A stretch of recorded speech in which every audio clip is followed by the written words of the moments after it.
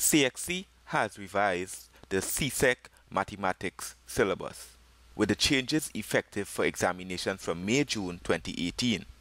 Specimen questions for the multiple choice examination were provided along with the answers. These videos will show the working. It will get you from the questions to the answers.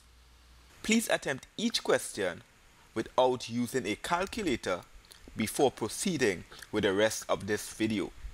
Remember that calculators are not allowed in this exam.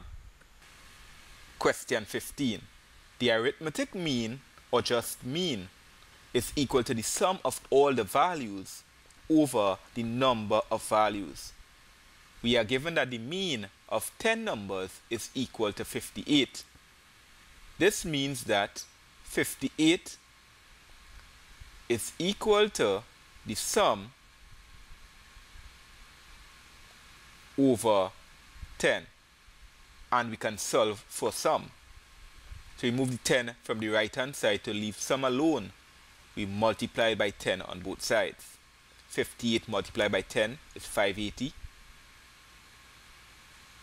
And when we multiply by 10 on the right hand side, the 10s would cancel to leave the sum.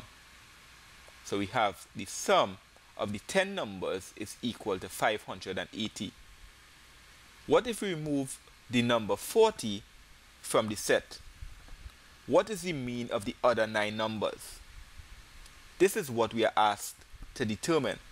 Therefore, the new sum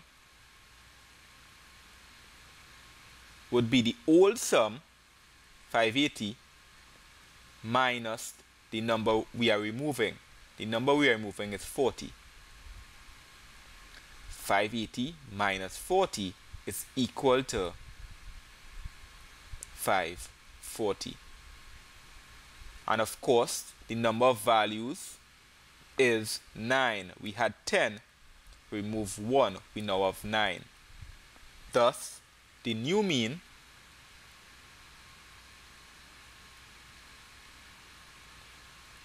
is equal to the sum 540 over the number of values, which is 9. 540 divided by 9. 9 into 5, 0. 9 into 54, 6. 6 nines are 54, so we have 0 remaining. 9 into 0 is 0. 540 divided by 9 is equal to 60. The new mean is equal to 60. The answer is B. Question 16. The probability that a child is at least 13 years old means the probability that the child is 13 years old or older.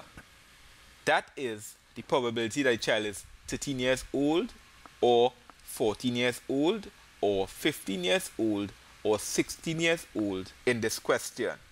The addition law of probability says that if E1, E2 up to En are mutually exclusive events, then the probability of E1 or E2 or up to En is equal to the probability of E1 added to the probability of E2 added to all up to the probability of En.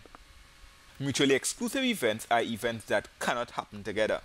A child cannot be two ages at the same time.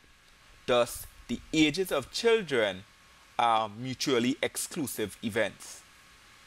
Therefore, the probability that a child is 13 years old or 14 years old or 15 years old or 16 years old is equal to the probability that the child is 13 added to the probability that the child is 14 added to the probability that the child is 15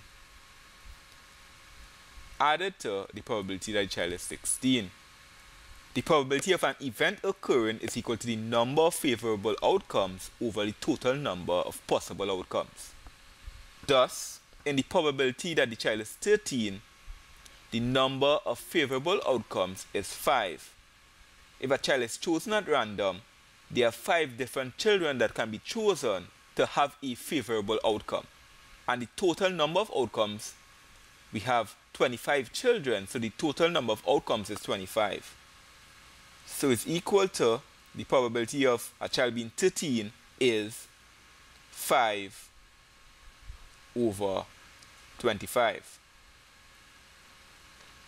Similarly, the probability that a child is 14 is 4 over 25.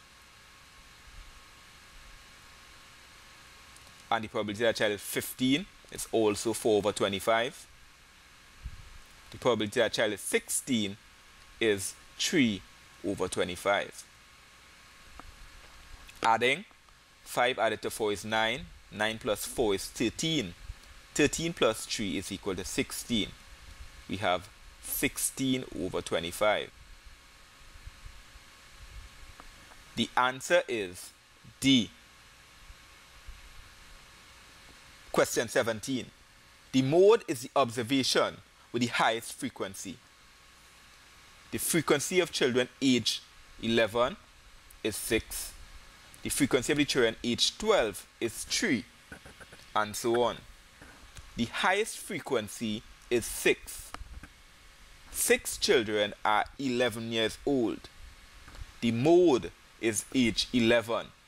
The answer is C.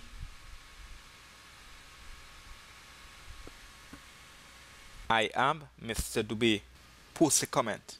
Let me know how you are managing. If you found this video useful, please like this video. If you are new to this channel, please subscribe. Join me in the next video.